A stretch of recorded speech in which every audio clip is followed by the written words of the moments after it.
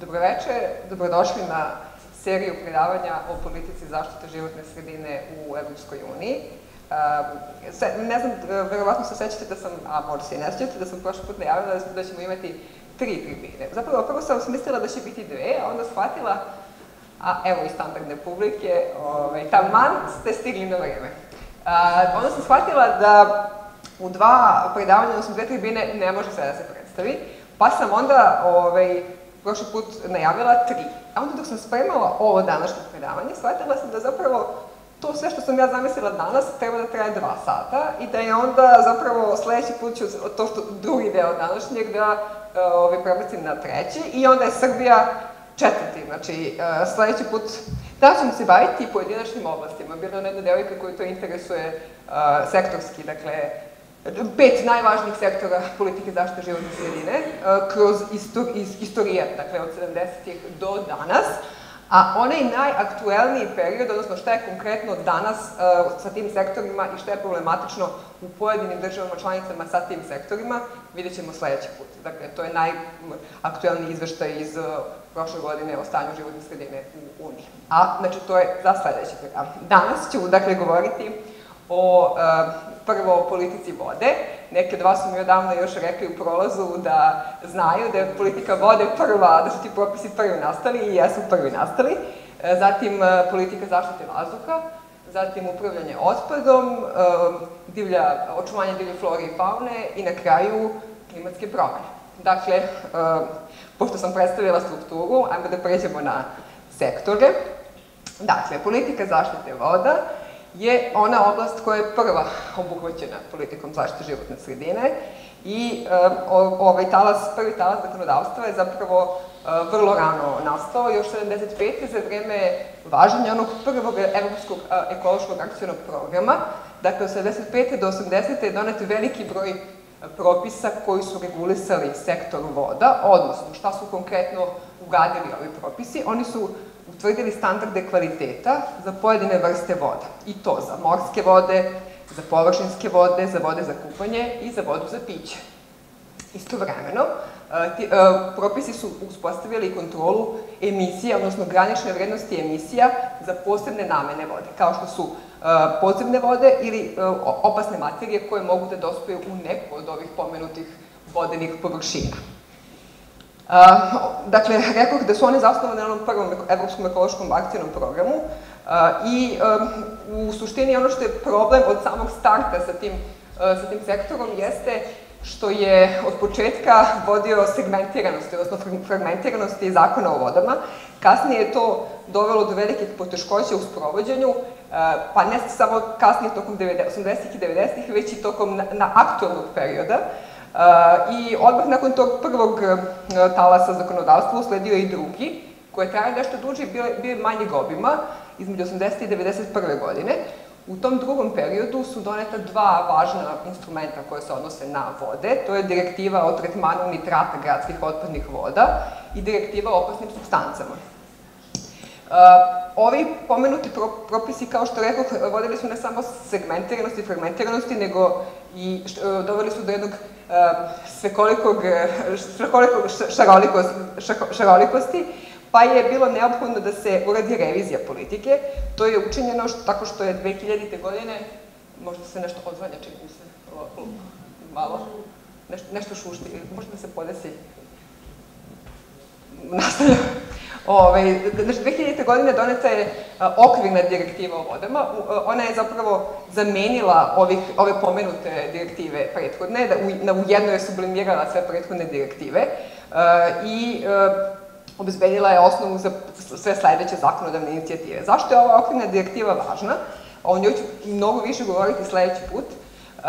To je zato što ona predvidela da do 2015. godine treba da sve države članice uspostave dobar status za sve vodene površine. Dakle, dobar status znači dobar hemijski sastav i do, dobar, dobar status u hemijskom smislu i u ekološkom smislu.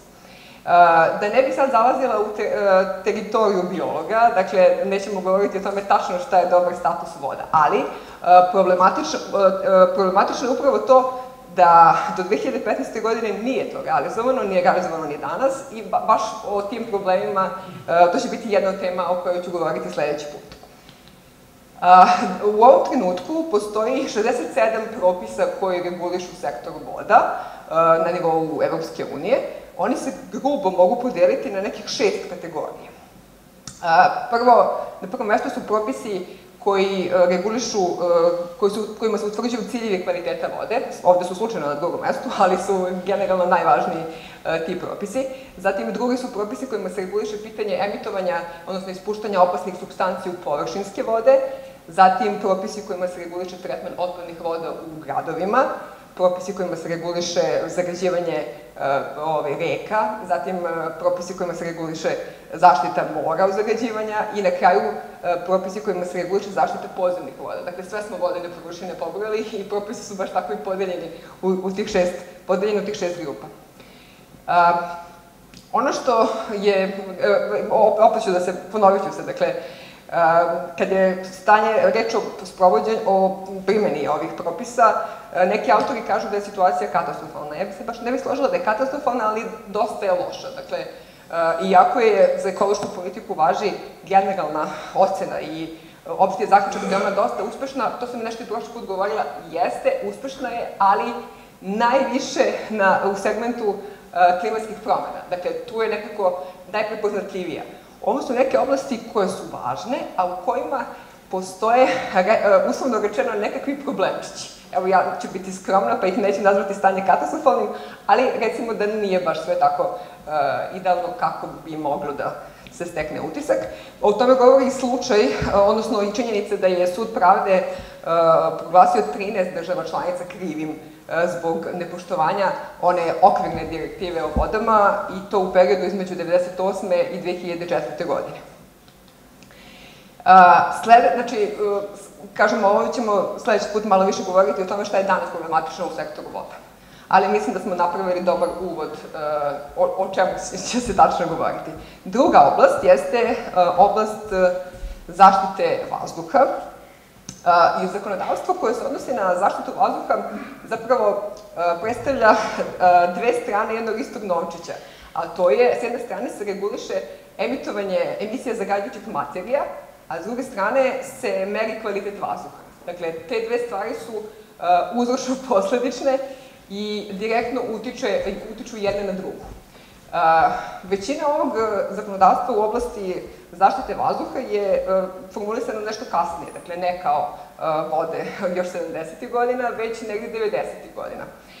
Međutim, tema zagađenja vazduha je prisutna kroz političke rasprave dosta duže. U kom smislu je prisutna duže? Kada je zapravo postala, nastala svest o, o opasnosti zagađenja vazduha, o tome sam isto nešto prošli put govorila, dakle, krajem 60. godina se pojavila, pojavio problem zakišeljavanja, odnosno acidifikacije skandinavskih jezera i reka, i tokom 80. godina je taj problem dobio baš na aktuelnosti, u smislu da je uticaj na kiselost šumskog zemljišta, znači ne samo ovih skandinavskih jezera i reka, već i na kompletnih šuma na evropskom kontinentu. Od 90. godina, dakle od kada se ovo zakonodavstvo u suštini i razvija, šta je ono što je ubrzalo, dakle, donošenje tih propisa, jeste što je, postala je važna činjenica da je zdravlje ljudi ugroženo zbog loše zaštite vazduha, odnosno zbog velike količine zagađujućih materija u vazduhu, posebno u gradovima. Do, do danas ovo zakonodavstvo je, za razliku od onog sa vodama, uslovno rečeno, više uspešno. Dakle, relativno je efikasno zbog toga što je poslednjih nekoliko decenija, posebno od 2000. na ovamo, smanjen značajno udeo emisija štetnih materija i poboljšanje kvalitet vazduha. Dakle, naravno, borba protiv zagađenja u gradovima i dalje je veliki izazov i veliki problem. Međutim, ne, na tome treba da se nastavi, prosto ne postoje, ni danas ne postoje gradovi bez zagađenja ambientalnog, sa dobro, idealnim ambientalnim vazduhom, ali je na tom planu dosta urađeno i do, u odnosu na situaciju kako je bilo 80. i 90. godina, osam, prošlog veka. zašto je, šta je zapravo problem sa vazduhom u gradovima, šta su najveći, šta je najveći problem sa, vazduhom u, gradovima? pa to su neke suspendovane čestice, odnosno čestice AM, čestice prašine, koje zajedno sa troposferskim ozonom su oni elementi koji su najštetniji po zdravlje ljudi koji žive u gradovima. Posebno jer su dokazani negativni uticaj ovih materija na oboljevanja ljudi u pogledu nekih bolesti, respiratornih bolesti. takođe, i onaj problem kiselih kiša, odnosno kiselog zemljišta, nije u evropskim šumama i dalje nije potpuno priladeđen, odnosno nije neutralisan, prosto ima i na tom planu dosta toga da se radi i to je ono što predstavlja uh, jedan od izazova koji, s kojim se i danas Evropska unija suočava. Kada je reč o instrumentima, odnosno direktivama koje su donete u ovoj oblasti, treba za početak pomenuti dve. Prva je okvirna direktiva o kvalitetu vazduha iz 1996. godine, a druga direktiva je direktiva o ograničenjima nacionalnih emisija iz 2001. godine.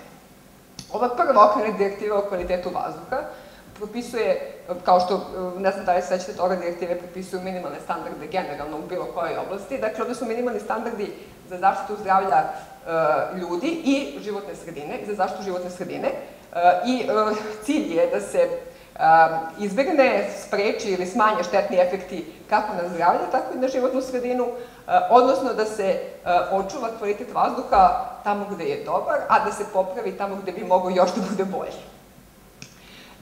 Nakon ova, ova dva propisa, Evropska unija je usvojila još četiri direktive, takozvane čerke direktive, koje su regulisale, pokrile su zapravo svih 12 najpoznatijih zagađivača. Zahvaljujem. Ove, među njima je prva direktiva koja postavlja granične vrednosti za sumpor dioksid, azotne okside i ove suspendovane čestice malo pre koje sam pomenula i olovo u vazduhu. Dakle, nakon nje je usledila druga sledeće godine odmah, koja postavlja granične vrednosti za benzen, prvi put i ugljen monoksid. Zatim treća direktiva 2002. godine koja reguliše nivo ovog e, troposferskog ozona.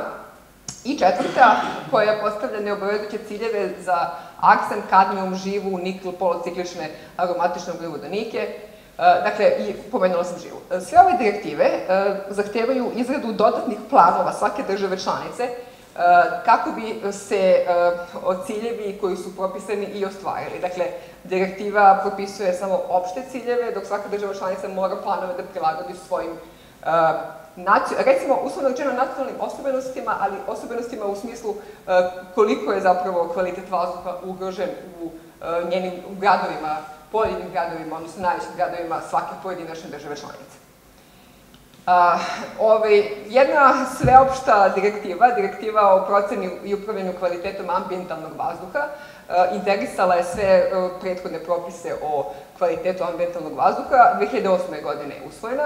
Takođe, ove, vidite, važnost ove teme govori da je, govori to što je usvojena i tematska strategija i ta, te strategije se, kao i u oblasti otpada, znači, to su, govori o tome, o, o važnosti tih tema.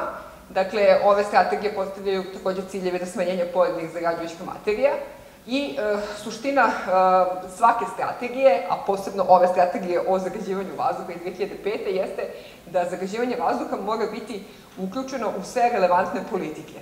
E, to nije problem samo sa, mislim, nije situacija samo sa zagađenjem vazduha, već e, celokupna e, politika zaštite životne sredine, i o tome sam isto, govorila, mora biti povezana i uključena u one politike koje su srodne i usko povezane sa njom. Da, ne, da ih ne pominjem sada poljoprivredna industrija, građevinarstvo, međutim, ne, kaže neka Činjenica je zapravo da ekološka politika je jedna od četiri koja treba sa svim javnim politikama da bude povezana. Dakle, ne samo s ovima s kojima je direktno povezana, a sa kojima apsolutno je neophodno da, da bude utkana u, u te, i u te ostale politike. Uh, ova strategija je naravno je definisala neke ciljeve do 2020. godine, pa ćemo isto sledeći put vidjeti koliko su se ti ciljevi uh, ispoštovali, pošto je upravo taj izveštaj uh, nam sumira o kome ću govoriti i, i ovu situaciju. Možda još treba pomenuti neke pojedinačne propise koji se odnose na zagađivanje vazduha, a specifični su jer se odnose na zagađivanje iz, iz, koje potiče iz stacionarnih postrojenja, zatim zagađivanje vazduha iz mobilnih izvora i ono što se odnosi na razvoj informacija o zagađivanju. Dakle, razmena informacija u smislu oblak zagađenja se nalazi u, u tom smislu razmena informacija. Dakle, postoji propisi koji se bave i tim elementima, ne samo ovog zagađivanja vazduha u gradovima, što je zapravo jedan od nama najinteresantnijih ovaj, momenta u okviru za, politike zaštite vazduha, a ono po čemu je zapravo politika zaštite vazduha najpoznatija, jeste upravo ovaj deo gde, se, gde je povezana sa klimatskom politikom, a to je šeme trgovina emisijama EU, koje su bazirane na direktivi iz 2003. godine, gde se omogućava trgovina dozvolama za emisiju ugljen dioksida. Šta to znači? To znači, jako ću govoriti o klimatskoj politici na kraju, mislim da treba da sad malo to razjasnimo. Šema, trgovinama, šeme trgovinama emisijama E, su zapravo nastale kao e, posledica e, Kyoto protokola, odnosno jedna od ciljeva, odnosno načina na koji Kyoto protokol predviđa da se smanji globalno zagađenje. Šta to znači? Znači da zagađivači, velike firme, korporacije, institucije koje su u određenoj meri zagađivači kupuju dozvole za emitovanje zagađenja, odnosno za emitovanje ugljen dioksida u ovom slučaju, i mogu da emituju samo onoliko ugljen dioksida koliko su platile. Dakle, može da se desi da firma, odnosno kompanija ne potroši sve svoje dozvole za ugljen dioksid, odnosno i da proda drugoj firmi. To je bukvalno tržište dozvolama za zagađenje. Dakle, i to je, po tom konceptu, Unija je uspela da smanji za 20% emisiju gasova sa efektom staklene bašte, upravo zato što je primjenila taj efikasan sistem šeme trgovine emisijama. Dakle, to je ono po čemu je Unija prepoznačila, mislim, nije samo taj segment klimatske politike, ali vidite da je zaštita vazduha utkana i u klimatsku politiku, već je uključena u druge relevantne, dosta relevantnije politike, rekla bi se, na globalnom nivou. Uh, došli smo do upravljanja otpadom, to je treća oblast i ta treća oblast je, uh, to sam više puta ponovila, a i posebno ćemo da elaboriramo kada dođemo do Srbije, jedna od kritičnijih oblasti za našu državu, kada je reč o pogledu 27, a nije samo za našu državu kritična, za našu posebno kritična, s obzirom da prednjačimo po broju divljih deponija i dalje u, u Evropi, ali ne samo zbog toga, ovaj, ali da ne šegam sad priču. Dakle, 2012. godine je 20, tadašnjih 27 država članica, dakle Hrvatska još uvek nije bila članica, odbacilo 2,5 milijarde tona otpada. Dakle, od toga je 4% opasan otpad. Uh, ukupna proizvodnja otpada u Evropi je opala za 6% u apsolutnom iznosu, odnosno za 8% po glavi stanovnika između 2004. i 2012. godine. Ali opasni otpad je ubeležio povećanje. Ono što je 1960. godine Evropa imala značajno manje otpada, mislim, vrlo je logično objašnjenje, 200 kg po stanovniku godišnje je tada bilo otpada, danas imamo blizu 500 kg otpada po stanovniku Evrope. Kako je taj otpad strukturiran? Dakle, imamo nekih pet tokova otpada. Prvi, prvi čine, odnosno najveći, najveću količinu otpada jeste otpad iz rudarstva.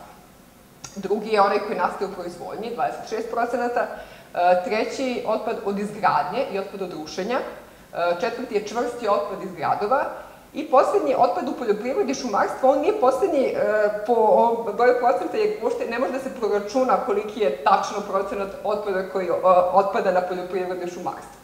Tome doprinosi gomila nerazvijenih ruralnih područja u smislu e, nemogućnosti brojanja, odnosno e, silne one divlje deponije koje postoje, dakle, e, ne daju nam da izmerimo kolika je količina tog, tačna količina otpada koji nastaje u poljoprivredi i šumarstvu.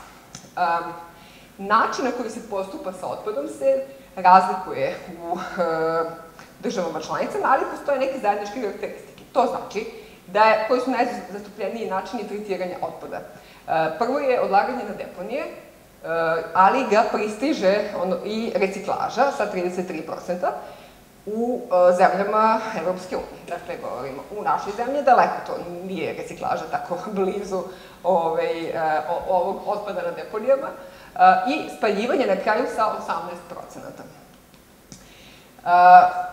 Kada je reč o ovom najšire rasprostranjenom načinu odlaganja otpada, odlaganja otpada na deponije, na deponijama, u proseku 65% otpada u gradovima, odnosno komunalnog otpada, i dalje stoji na deponijama. Dakle, taj komunalni otpad se jako teško razgrađuje. I otpadne vode sa deponija vrlo mogu lagano da postanu kontamineri kako okolnog zemljišta, tako i podzemnih ili površinskih voda. A posebno izaziva zabrinutost to što se u prošlosti otpad odlagao bez posebnog usklađivanja sa minimalnim stepen tehničkih uslova koje svaka deponija treba da ispunjava, pre nego što je doneta direktiva o deponijama. Dakle, danas jeste doneta ta direktiva, ali imamo, kažem, ovaj, dosta slučajeva e, nepoštovanja seta tehničkih uslova na e, deponijama. Ne mislim samo na dilje deponije, mislim na ove zvanične i na nepoštovanje, nepoštovanje tih tehničkih uslova. Neke vrste gradskog otpada su, tog komunalnog otpada su vrlo upadljive. To je, složište se, elektronska i električna oprema. Dakle, ukupno uh, 98. godine je, podatak je 98. godine stvoreno 6 miliona tona otpada električne i elektronske opreme, što je ukupno 4% tog gradskog otpada. Uh, ova oblast, oblast upravljanja otpadom, je među prvima, kao i politika vode. Dakle, prvi propis je donet 75. godine i to je bila direktiva o upravljanju otpadnim uljima. Dakle, isto je u okviru prvog ekološkog akcijnog programa zajednice nastao ovaj propis. Danas propisi koji spadaju u oblast, koji regulišu oblast upravljanja otpadom su najbrojniji u tom celokupnom poglavlju 27 i najskuplji. Dakle, upravo tu leži ona skupoća onih, ne baš svih 12 milijardi, ali većina, većina od tih 12 milijardi leži upravo u propisima za upravljanje otpadom. Kažem, malo pa sam pomenula strategiju za ovaj, zaštitu vazduha, e pa strategija za upravljanje otpadom je uh, još ranije nego što je ova strategija o uh, zagađenju vazduha, još 89. godine je prva strategija nastala, ali revidirana je 96. Uh, što nam govori naravno o važnosti teme ovaj, postoje neke četiri grupe propisa koje regulišu upravljanje otpadom. Prvi su neki opšti propisi o otpadu, drugi su propisi o otpadu koji nastaje kao rezultat potrošačkih aktivnosti, treći su propisi koji se odnose na odlaganje opasnog otpada i poslednji oni koji regulišu specifične tokove otpada. u ovoj prvoj grupi, među opštim propisima o otpadu, imamo direktivu o otpadu, direktivu o spaljivanju otpada, direktivu o deponijama, uredbu o kretanju otpada. Ova druga grupa koja reguliše otpad iz potrošačkih aktivnosti, imamo direktivu o ambalaži i ambalažnom otpadu, pa onda imamo direktivu o odlaganju poliklorovanih bifenila, poliklorovanih terfenila, pošto nisam hemičar, ovo će sad da zvuči, možda, možda neće neke reči uspeti da izgovorim. Ove, zatim, direktiva koja zamenjuje direktivu, dopunjuje stvari direktivu o baterijama i akumulatorima, o odlaganju otpadnog ulja, to je ovo što sam ja već spomenula, i o otpadu elektronske i električne opreme. U trećoj grupi nalazi se konvencija o kontroli prekograničnog kretanja opasnih otpada i njihovom odlaganju i direktiva o opasnom otpadu, a na kraju imamo ove specifične tokove otpada, to su oni uh, otpadi koji nastaju iz specifičnih industrija, kao na primjer što je ekstraktivna industrija, zatim kao što je industrija u kojoj se koristi titan dioksid i ova direktiva o zaštiti životne sredine, odnosno zemljišta prilikom korišćenja otpadnog mulja u poljoprivredi. Dakle, to su ti specifični tokovi otpada. E, svi propisi koji se odnose na otpad i na upravljanje otpadom e, vezani su za države članice, zahtevaju e, da od država članica da prave redovne planove i da razmatraju planove upravljanja otpadom. Suština je da svaka država članica mora na celokupnoj svojoj teritoriji da donese kako lokalne, tako i regionalne planove za upravljanje otpadom. Dakle, cijela teritorija mora biti pokrivena planovima za upravljanje otpadom. To je u našoj zemlji primer sa tim regionalnim deponijama, sa regionalnim nekim javno-privatnim partnerstvima, a i lokalnim. Dakle, nijedan deo države ne sme biti nepokriven planovima za upravljanje otpadom. To je zapravo suština ovih, ovih propisa koji se odnose na otpad. Na, došli smo do četvrte oblasti, to je očuvanje divlje flore i faune. Ova oblast nije bila prisutna tokom 70. godina i tokom onog prvog ekološkog akcijnog programa problem očuvanja prirode tada još nije bio, dobio na značaju. Suština je da se bazira na neka dva zakonska propisa. Prva je direktiva o zaštiti divljih ptica, a druga je direktiva o zaštiti prirodnih, odnosno poluprirodnih staništa.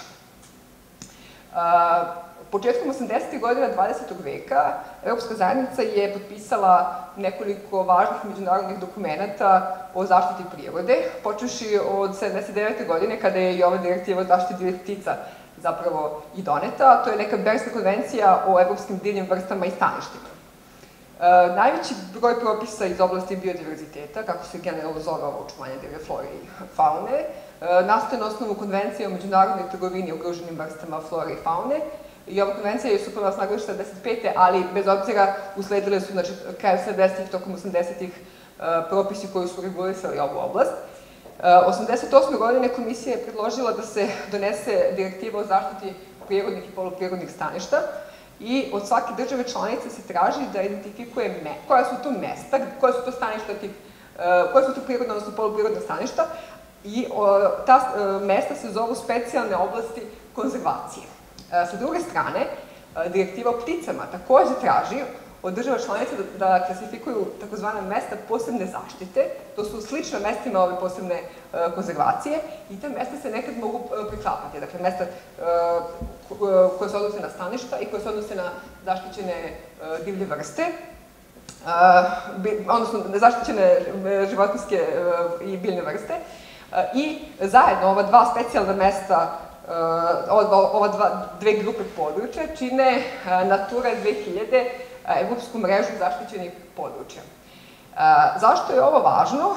Zato što, malo sam, preskočila sam ovaj slajd, ali vratit ću se, zato što danas postoje velike poteškoće sa tim, u toj oblasti Natura 2000, dakle, pored onih ranije pomenutih problema sa sprovođenjem, e pa i tu su velike probleme sa sprovođenjem i o tome će biti reći sledeći put. Koja su to područja specijalne konzervacije, koja su prvo bila uključena u nekakve posebne programe. Prvo su mediteranska područja uključena u programe zaštite, mediteranska staništa zapravo uključena u programe zaštite. Taj program se zvao MEDSPA i trajao je pet godina između 86. i 91. Nakon toga, 89. godine, severne evropske pomorske regije su nova oblast zaštite, to je neki program NORSPA. Odmah nakon toga je formulisan LIDER program u cilju poboljšanja razvojnog potencijala ruralnih, ruralnih područja, a direktno kao podrška direktivi o zaštiti staništa nastoje novi fond, Evropski fond za prirodu 1991. godine. Uh, akcije zajednice za prirodu se zove, zvao taj fond.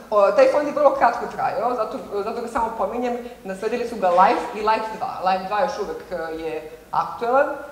LIFE je, dakle, prvi finansijski instrument za zaštitu životne sredine, dosta ambiciozniji od ovog prethodnog koje sam, koje sam samo malo pre ove pomenula, uh, i obuhvatio je 400 miliona ekija tada, između 92. i 95. Ovaj LIFE 2, koji je usledio 96. Uh, izdvojio je, dakle, malo više ekija ove, za naredne tri godine. E, I tako svake tri godine se Life 2 produžava, dakle povećava se cena, cifra koja se troši e, na, e, kao instrument za životnu sredinu. Ali od 99. godine ono što je važno za nas, mislim što je važno za ove članice koje su postale 2004. i kasnije, a i za nas, jeste što prvi put se omogućava finansiranje projekata u vezi sa životnom sredinom u Uh, istočno-evropskim i centralno-evropskim zemljama koje su kandidati tada za članstvo, a to se odnosi i na ove naše zapadno-balkanske uh, kandidate, tadašnje kandidate za članstvo. Uh, sprovođenje, kao što sam rekla, sprovođenje direktive o pticama je loše. Ono je čak dovelo Francusku i Švedsku pred sud pravde. Takođe, sprovođenje direktiva o staništima je kasnilo u mnogim regionima i u državama članicama. Pa je onda 99. godine komisija bila jako ljuta zbog toga i rekla da se ta sredstva iz regionalnih fondova za životnu sredinu neće koristiti sve dok se direktive o staništima i pticama ne budu u potpunosti poštovale. I takav pristup je, uslovno rečeno, nastaven i danas je prisutan. Ali, kao što sam rekla, o, tome zašto, šta je problematično u tim propisima u vezi sa pticama i staništima, ćemo malo više govoriti sledeći put, kada pređemo aktualnosti. Došli smo, dakle, do poslednje oblasti. Nadam se da ne prekoračujem mnogo vreme ovaj, za sledeće predavanje. Do klimatskih promjena, po čemu je Evropska unija globalni lider. Unija je zapravo odigrala ključnu ulogu u postizanju Kyoto protokola, ali ne samo u postizanju Kyoto protokola, već ona je potpisnica svih međunarodnih ugovora počeoši od 1992. godine pa na ovamo i ne samo potpisnica, već i predani uh, uh, implementator, odnosno predano sprovodi ideje koje su koje stoje u tim međunarodnim ugovorima koji regulišu klimatske promene, odnosno koji, koji smanjuju zagađenje na globalnom nivou. Zajednica je, tada još zajednica, krenula je sa relativno skromnim dnevnim redom u vezi sa klimatskim promenama između 88. i 92. godine. Međutim, nakon konvencije iz Rija iz 92. godine, nekako je tadašnja već Unija odlučnije krenula u celu tu priču, da bi se postigao međunarodni sporazum o smanjenju emisija. Šta je bilo problematično, odnosno oko čega je nastala kontroverza? Pa upravo zbog neslaganja među državama članicama kako da se postigne dogovor o smanjenju emisija u njihovim državama, ali i kako da izvrše pritisak na one države koje, da vidimo, nisu htele tada, a i danas ne pristaju na uslove koje ti međunarodni sporozovi propisuju. Pre svega se misli na Sjedinjene američke države. One su među sobom uspele da se dogovore, kao što vidimo i da naprava u šemu trgovinama trgovine emisijama, međutim, uticaj na Sjedinjene američke države još uvek nije e, izvršen i vrlo je e, simptomatično da mislim da neće ni skoro biti ovaj, izvršen. E, ono što je Europska unija postigla, dakle, e, nakon predanosti cilju smanjenja zagađenja e, koje je posledica efekta staklene bašte, odnosno gasova sa efektom staklene bašte, jeste da je na, postavila sebi neka tri cilja za 2020. godinu, a to je da će za 20% da se smanji emisija gasova sa efektom staklene bašte, da će se za 20% poveća upotreba energije iz obnovljivih izvora i da će za 20% da se poboljša energetska efikasnost. Na, taj cilj je ispunjen. Dakle, i to je ispunjen pre 2020. godine. E, to nam potvrđuje e, upravo ta e, doživlja Europske unije kao globalnog lidera na ovom planu. Oni čak nisu se zadovoljili time što su već ostvarili te ciljeve, pa su onda napravili neke nove ciljeve od 2030. godine, dosta ambicioznije. Vidjet ćemo kako će, se, da, kako će i da li će se dalje odvijeti ovaj, u željenom smeru uh, njihov plan. Ali uh, suština je da uh, svaka država Evropske, članica Evropske unije 2040. godine imala e, manju emisiju od e, e, većine industrializovanih zemalja, odnosno manje od polovine emisije koje su prisutne u Sjedinim američkim državama i u Kini. Dakle, nisam stavila Kinu, ali i u Kini. Pomenuli smo Kyoto protokol, dakle, verovatno vam je poznat da je predstavlja najvažniji korak zapravo do sada pored onog sporazuma, Parijskog sporazuma iz 2015. ali Parijski sporazum iz 2015. još uvek se uh, sporo primenjuje, odnosno uh, nisu ga sve države ratifikovale i ni, mnoge nisu ni, ni, ni ne razmatraju, one koji su ratifikovale čak i ne razmatraju da počinju da ga sprovode, tako da je to za sada glavni taj uh, spor, međunarodni sporazum koji reguliše klimatske promene i koji zapravo reguliše emitovanje gasova sa efektom staklene bašte. Da ih ne bi sad nabrajala, dakle da se ne bi gubila s ovim izgovorima, možete da vidite koji su to gasovi sa efektom staklene bašte. I upravo je Kyoto protokol definisao da je trgovina emisijama jedan od načina da se uh, smanje uh, emisije gasova sa efektom staklene bašte, pored zajedničkog sprovođenja i mehanizama čistog razvoja. Mehanizam čistog razvoja je dosta skuplji, pa su, uh, ovo je nekako najlekše bilo da države članice dogovore trgovinu emisijama. I vrlo se efikasno i pokazala ta trgovina emisijama. Uh, pojedine, pojedine pitanja koje se odnose na gasove sa efektom staklene bašte regulišu neki drugi propisi. Uh, treba povjeriti samo direktiva koja utvrđuje šemu trgovinu dozvolama za emisiju gasova iz 2003. i uredbu o substancama koje oštećuju ozonski omotač. I ja bih se tu zaustavila danas, a ovo sve što sam najavila čekam vas sledeći, sledeći put u januaru.